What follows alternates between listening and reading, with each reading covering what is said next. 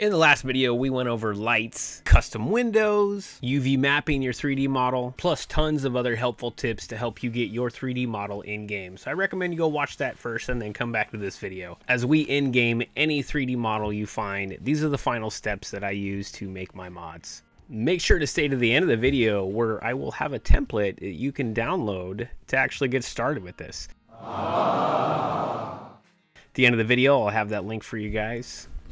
And without further ado, let's get into the bread and butter of this tutorial, where my goal is to help you not stress out about putting your 3D model in game.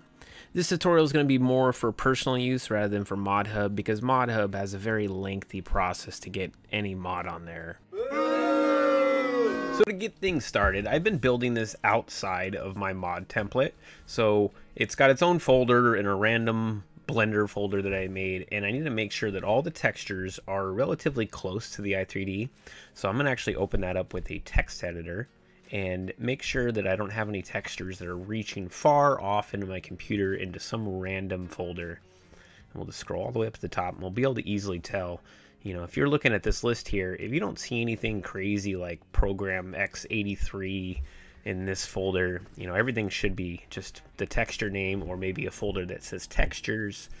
Depends on how you build your, your mod, but I like to make sure that those textures there are in the right place. And they are, so let's export this bad boy out into the template. Export selection with files.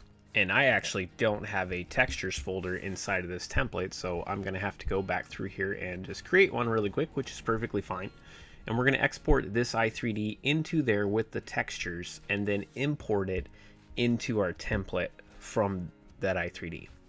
Now we're going to open up our template i3D here. And this whole mod should work perfectly when you put it in game. You'll get a few errors that say index. It's very clear which ones need to be taken out. But we're going to import in our i3D that we exported, which our truck here. Once we get that loaded up, we'll be able to start placing some of these nodes because we have to remember that every single item inside of this template i3D is already coded to the XML.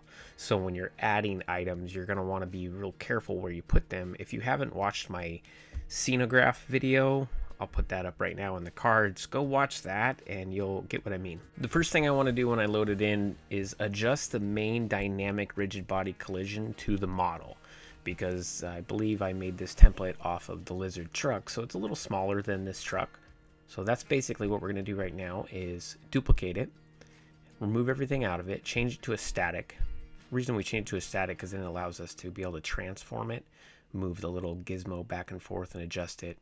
We're going to get it all nice and placed perfectly where it needs to be. Once we like where it's at, we are going to use the freeze transformations function if you cl click on the object over in the scenograph, you'll be able to activate the freeze transformations once you get it in the spot that you like. And because all these dynamic models need to be 0, y, and 1 on the scale 2 and 3, you need to make sure those are zeroed out. Once you have it zeroed out, you'll be able to copy and paste into it. And it should be identical. We'll change our camera here because you can't delete that first compound without your camera. Move our new collision up to the top and start adding to it. We'll click on here where it says visuals. And this is pretty safe to put whatever you want in there and you can code up future things in there. But the visuals doesn't mess up any coding if you copy and paste your 3D model into there. Now, I do want you guys to understand that what I say is not gospel of modding. This is just me playing around for a very long time and trying to share that with you. So over the next few moments, I'm going to spend some time renaming these transform groups and organizing this mod because I know one of you is going to open it up and be like, how did you do this? Well, sir, I copy and pasted my body individuals, got it placed how I wanted it there. That's how I did this. Next up, we got the glass. I don't think I have it named glass transform group, so we're going to do that real quick just to keep it nice and organized. We're going to copy it or cut it and then paste it into our visuals under our body. And in future video, we're going to fine tune the rear door and actually make a moving part. That could be a whole 20 minutes on its own. So for the time being, I'm actually just going to delete a good chunk of this. It's going to cause some errors if I don't mess with it in the XML, but we'll deal with that then. It's nothing detrimental. I am going to keep the back child collisions though, because it can be quite useful. We can add that to our tailgate. I want you to keep in mind that anytime you're diving into a scenograph and deleting chunks of it and replacing it, you are going to cause some errors because this has to match up with the XML. It's it's like a like a legend for a map and the XML thinks this is one way and it's not, it's going to get very confused. But I will teach you about that because I'm going to go through and skim out the lights. We already have our own lights, so we're going to take out those visuals and inject our lights in there. They're already placed, so no hard parts about that. We are going to have to code those up though. That's going to be a whole whole section on its own as well. Man, this is going to turn into a long, long time of building a truck, but that's why making mods takes some time. We got all of our lights pasted in there. Now I'm going to delete this transform group that's on the outside of the main compound and hit save. Always hit save. But you only want the one component, the one object, otherwise the game will throw an error at you. Now here's our rear door. It is, God, it's going to be all good once we get this bad boy all coded up. One of the nice things about this truck template, it's a lot of click and control B and then click again. Basically, you're going to select a transform or an object, we're going to press Control B, and then we're going to place it where we want. In the case of these wheels, which I'm going to change this for the original template I upload for you guys, but uh, they will be zero instead of rotated. But we're going to start off by clicking on our first wheel report. These already have a drive node, everything installed, and they come with the stock truck wheel. I used Control B to place the tire, and I'm actually going to go through and copy the translate X and all those little the X, Y, and Z and paste those into the left one and then just put a negative.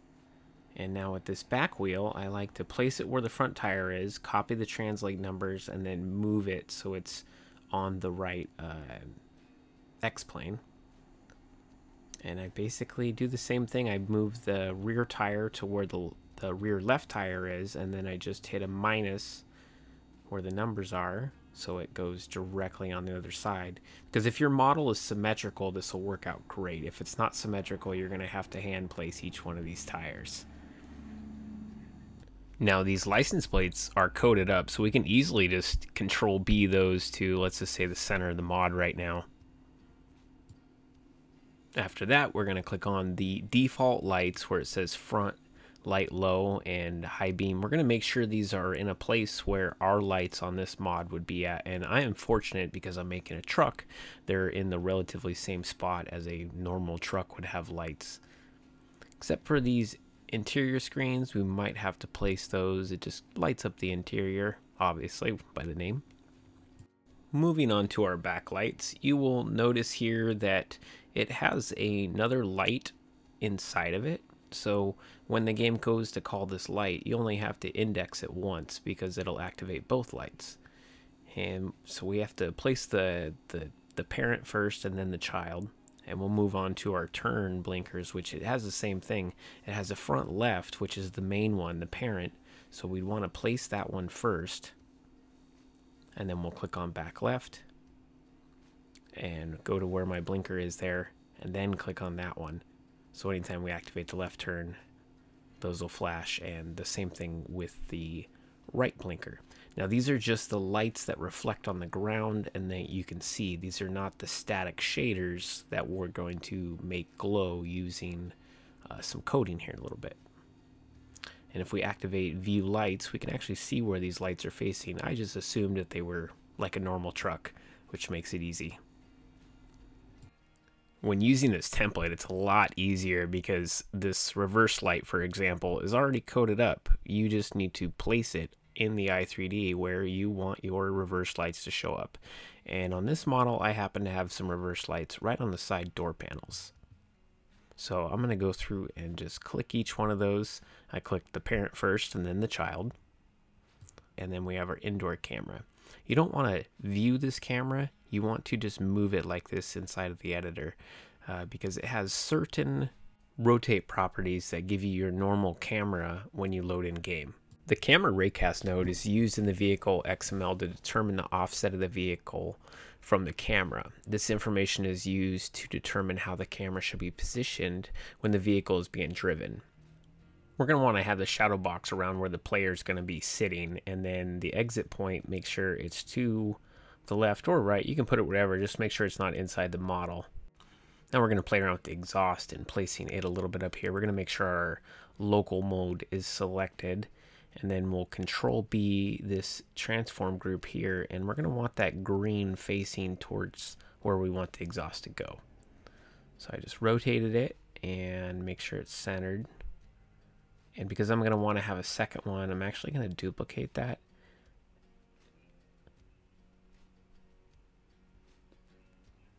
Move it over to the other side so I can have dual exhaust.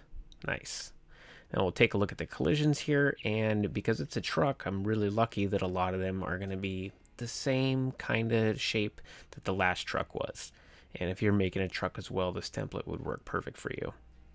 Now we want to make sure when we resize these that we freeze transforming them, but don't do the translate. That really throws off where it is. You just want to do the scale.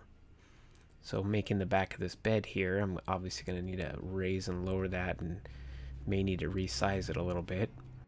So following my instructions on how to scale and reset these collisions, go around your model or your truck, whatever you're working on, and reset all the scaling now. Make sure it's all nice and hunky-dory where if you put a log somewhere, it'll fall off nicely into the bed. Now we're going to start digging into the cabin and start playing around with like the player node. First off, the steering wheel. Let's place the steering wheel. Now I need to build some parts in here that like a tube that goes from the dash to the steering wheel, but for the time being, we're just going to place the steering wheel in a position that the player could grab it, which that looks about good.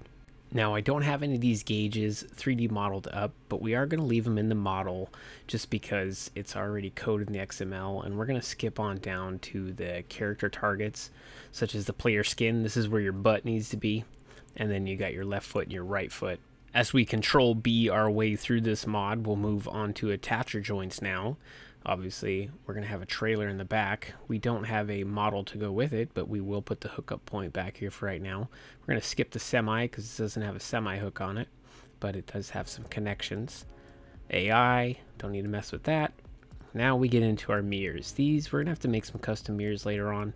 So unfortunately, these ones are going to have to go except for our center one. Our center one we might be able to keep, but if not, inside of the 3D model we have some mirrors on it already. We just gotta do the whole sh secret shenanigans and get it imported into the mod.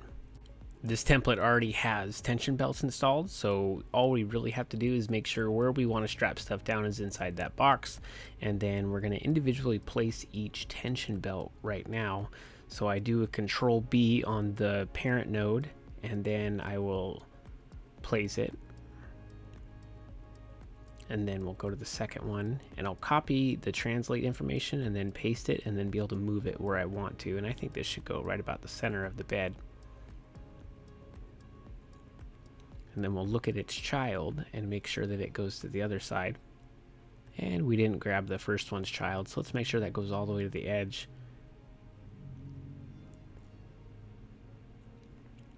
With this last one here, we're going to end up copying our, our first one and stretch it over.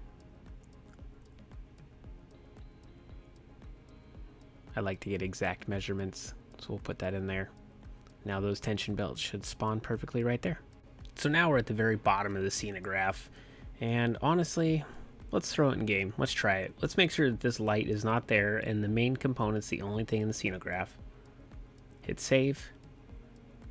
And we're going to open our mod up in the game and see what kind of errors we're going to get.